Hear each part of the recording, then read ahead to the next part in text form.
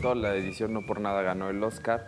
Eh, de hecho, todas las pequeñas escenas que explican entre una y otra, las pequeñas tomas que explican mucho más, como en la pelea cuando después de dejar deforme a Yaniro volteamos y vemos a la esposa.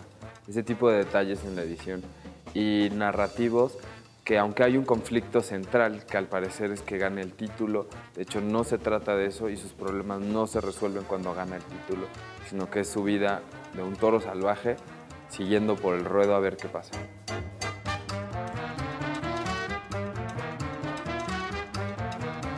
De acuerdo con Alfonso, creo que también es cuando está en la cárcel y por fin toca a fondo y empieza a darse cuenta de que ya llegó, de qué es eso que no quería hacer.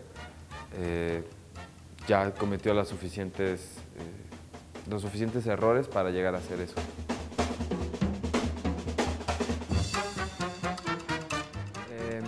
Yo creo que es muy difícil empatizar con Jake LaMotta porque a mí francamente me cae muy mal, incluso después de la película no lo juzgo a él, pero no me llevaría con él.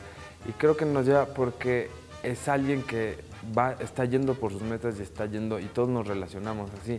Sin embargo, sus métodos, sus formas e incluso lo que él mismo espera tanto de sí como de sus sueños no se cumple. Entonces nos intriga por ver a dónde está yendo y qué está esperando.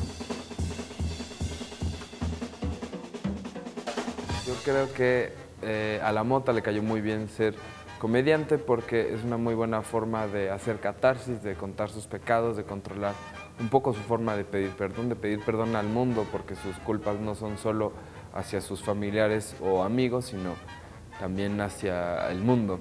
Entonces yo creo que lo ayuda a redimirse mucho, sincerarse en el escenario, que también el stand-up no solo es sincerarte, sino sincerarte ingeniosamente.